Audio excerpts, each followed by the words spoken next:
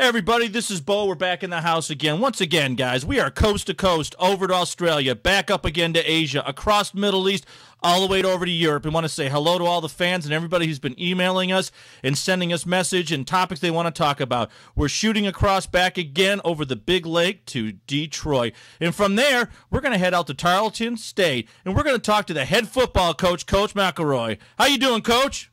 Doing well, doing good today. Appreciate you, appreciate you hollering at us. Oh, coach, you know, since we talked last time, you are on an incredible run right now. You've got some, I mean, just major things happening right now on your schedule. You're heading right for the playoffs. You are ranked one of the top teams in the country. How does that, it's got to be a, a sort of like a little bit of pressure. How do you guys handle it over there?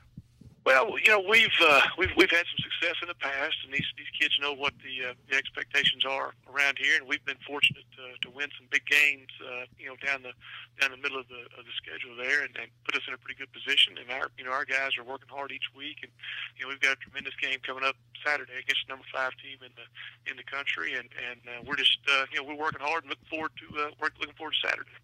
Now, when you we had that when you had that one loss, what can you learn from that for the end of the season? I feel comfortable as a fan if my team actually has one loss going into the playoffs, and I know the coaches are probably not the same way, but as a fan, you always want to see them stumble early and just play it in high gear. How do you got? What do you guys focus on when you have that one loss on the schedule?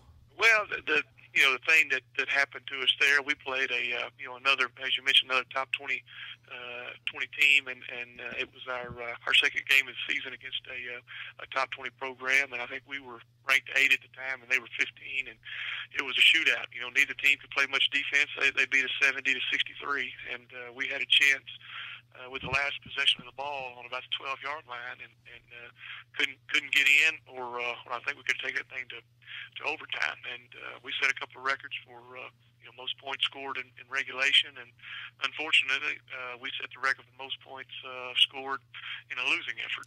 uh, our old kids, uh, you know, they never gave up. At one point we were down 21 uh, in that game and battled back to get up 10. So we've uh, we've learned a little bit about character and that kind of stuff. But our, our guys are uh, continuing to play hard, and, and uh, we played well Saturday.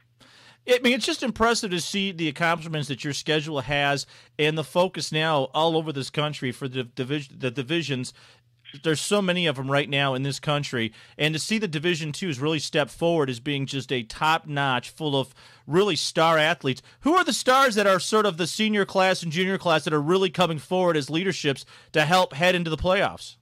Well, we've got a couple of guys defensively that uh, are playing playing well. Uh, Phillips is a uh, is a safety for us, and uh, Taiwan Miles plays defensive line. Both of those guys uh, have the NFL scouts in here uh, weekly checking on them. They they have uh, great ability and are both captains and have, have led us a uh, led us a great deal through the through the years. They're certainly doing a good job during their senior senior year, and got uh, a couple of guys offensively, a, a young quarterback that's really playing well, and then a uh, a veteran running back uh, who's had another tremendous year. And, and uh, we're, we're blessed with uh, with a lot of ability, and our kids are are making the most of it each Saturday.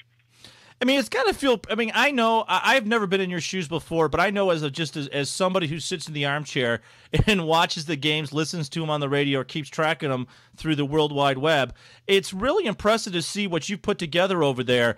As far as what you've put together, who are some of the sort of incoming freshmen and sophomores that are really stepping up to the plate for to become juniors and seniors now?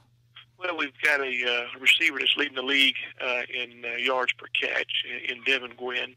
Uh, he's doing a tremendous job for us. And as I mentioned, our quarterback uh, leads the uh, conference in pass efficiency, and he's a freshman and uh, is really, really really playing well. We have the sophomore running back that uh, is, uh, is is playing extremely extremely well, and have some young uh, some young guys uh, up front. But uh, we we've got a, a good nucleus of, of, of young guys that are kind of following the leadership that our juniors and seniors are providing, and you know as a result, we've we've kind of put together a team with pretty good chemistry, and and uh, you know except for that one game, have really played well. I mean, and for that game, 63 70, at halftime, you guys had to be like trying to figure out how to run the defense because it, you guys were like scoring on every play and every down. Um, ha- your offense must have been tired after that game was over. Oh, no doubt. You know, I think uh, there was almost 1,400 yards of, of offense in that uh, in that game only two punts, uh, and all those uh, you know all those points were scored uh, by offensive units. There were no scores in the kicking game, which is which is rare when you have numbers like that. But uh, you know we we um, just uh, had some you know had some execution uh, problems in a couple areas defensively, and we were playing a team that had some some really skilled players like ours, and you know it just kind of got into one of those those scoring deals, and you know every time uh, anybody had it, they, they put it in the end zone, and uh, we just we were one possession short. But uh, our kids learned a lot about uh, a lot about themselves, and, and uh, came came away from that game with uh, with a lot of things learned.